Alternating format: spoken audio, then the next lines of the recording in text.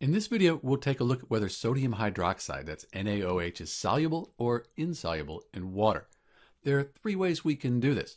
First, we could have memorized the solubility rules. Here's a brief set of solubility rules. And the first rule is that group 1 elements, sodium, that's in group 1, those compounds with these group 1 elements here, they're going to be soluble. So the solubility rules tell us right away this should be a soluble compound. We could also take a look at a solubility chart. So here on our chart, we'll find sodium. These are the positive ions. Sodium is right here. And then on the top, the anions, the negative ions, we're looking for hydroxide OH minus. There it is. So many of the hydroxides are insoluble. You see that I.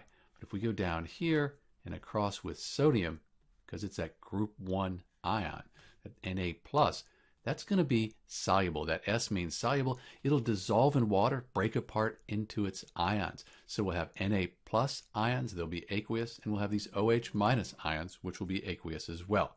So according to the chart, sodium hydroxide is soluble, just like the rules.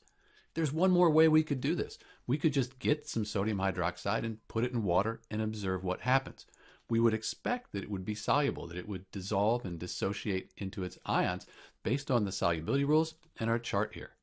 This is Dr. B answering the question whether NaOH is soluble or insoluble in water. It is soluble. Thanks for watching.